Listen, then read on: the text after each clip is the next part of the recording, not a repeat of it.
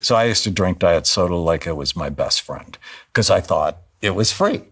And then I had arthritis when I was 35, and one of my patients said she stopped aspartame and her arthritis went away. And I'm like, I was drinking like, I don't know, a lot of diet soda. And so I stopped and my arthritis went away. And I'm like, no. And so I did it again and it came back. And I'm like, okay.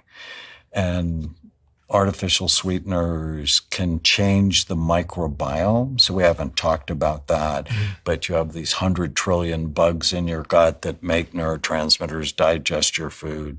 And especially sucralose or Splenda has been found to decrease the good bacteria in your gut, which then has a negative impact on brain function.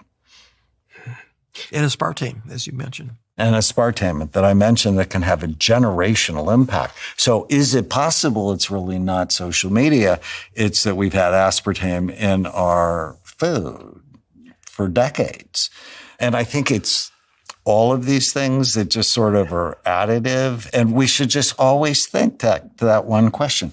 Is this good for my brain or bad for it? So you mentioned broccoli. Probably that's good for your brain cheeseburger? Probably not, but why don't you take the burger and if you could make it grass fed, that would be better and put it in a salad and then that would be good for your brain.